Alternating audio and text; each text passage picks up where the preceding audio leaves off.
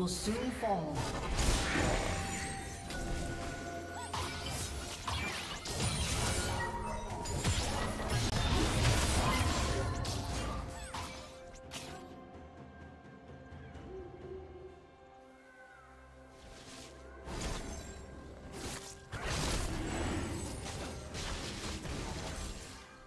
Red team